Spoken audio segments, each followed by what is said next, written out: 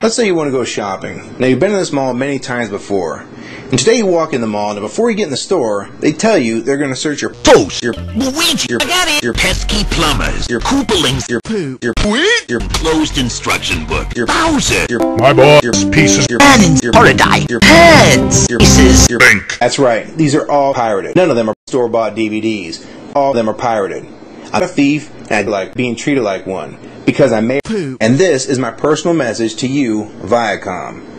The people you're going after are your Koopalings, we're the people that pirate your products, pirate your TV shows and movies, and pirate your music. And you're biting the Toast, that feeds you. And if you keep this up, Viacom becomes synonymous with the word passion. And Viacom will also become synonymous with only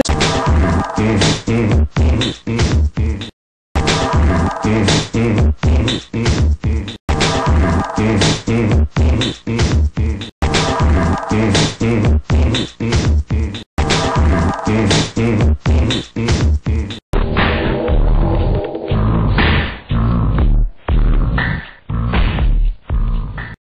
oh, oh, oh, oh, oh.